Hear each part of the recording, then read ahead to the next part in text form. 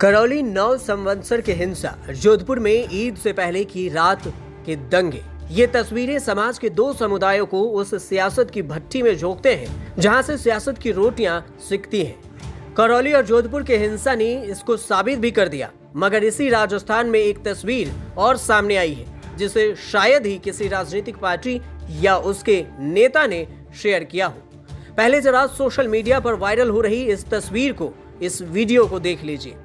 ये वीडियो पाली शहर का है। हर साल की तरह इस साल भी ईद की नमाज़ के बाद राष्ट्रीय गान की परंपरा के साथ ईद की बधाइयाँ दी गई।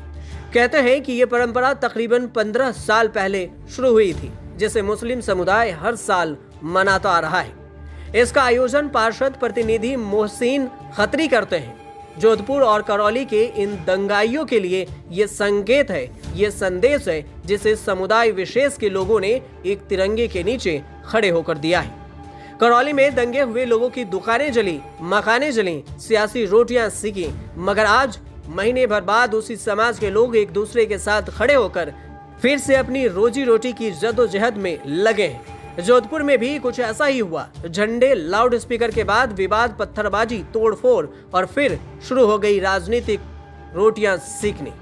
और ये रोटियाँ अगले दो चार दिनों तक ही सीखी जा सकती हैं। राजस्थान तक की अपील है उन सभी लोगों से जो समाज में साथ रहते हैं। मगर आज की व्हाट्सएप वाली दुनिया में एक फेक मैसेज पर एक दूसरे के दुश्मन बन जाते हैं कि दंगे करने वाले और उन पर सियासी रोटियाँ सेकने वालों से जितना हो सके दूर रहें।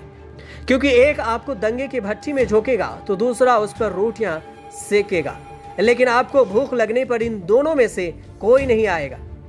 काम आएगा तो वो समाज जिसमें आप रहते हैं। ब्यूरो रिपोर्ट राजस्थान तक।